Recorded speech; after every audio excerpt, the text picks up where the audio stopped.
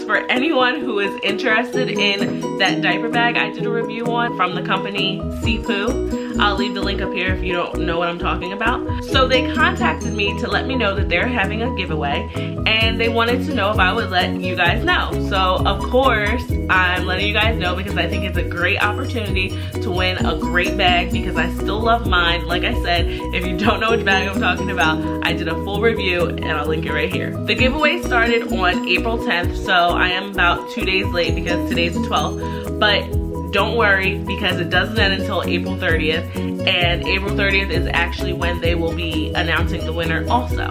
They give you a bunch of different opportunities on how to get entries. So all you have to do is go to their website and it tells you everything that you need to know about entering the giveaway. All of the links will be down below as well as you will probably see me posting them on my Facebook, on my Twitter, on my Instagram. I think that it's awesome that they're holding this giveaway because like I said, I'm in love with that diaper bag. I actually took it with me to Florida.